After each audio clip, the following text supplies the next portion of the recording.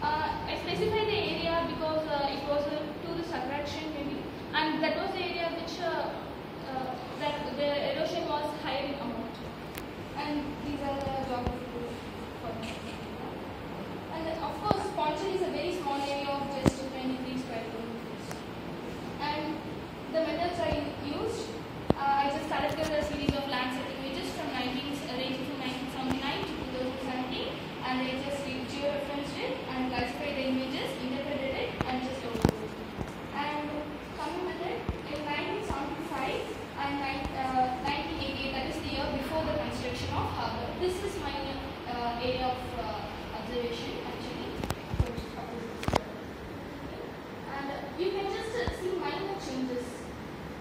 Can you see the question? What is the line? So th that's the. Post line. You mean to say it's moving in front? So it's moving. This is the post line of 1975. This is the post line of 1908. Here I have included two lines. The red one carries uh, 1975 and the black line carries. Yeah, there's a small change. Okay, there's a change. Yeah, got it.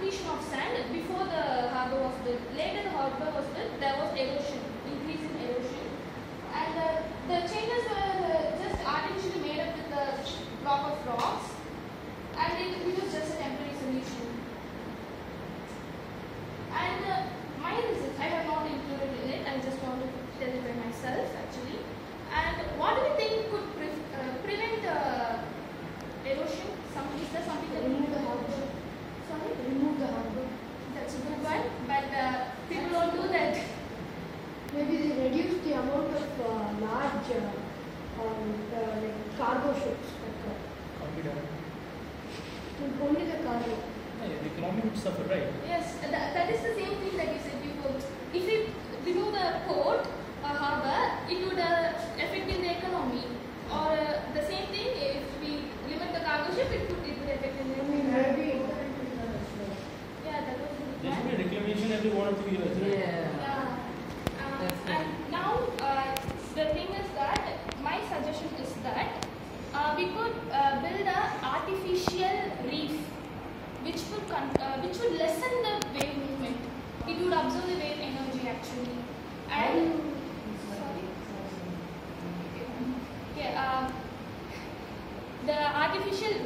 absorb the wave energy and uh, it, it will lessen up the,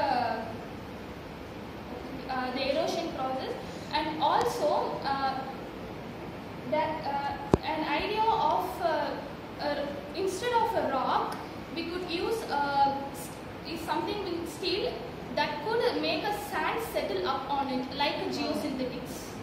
That we could, even that would not harm the environment.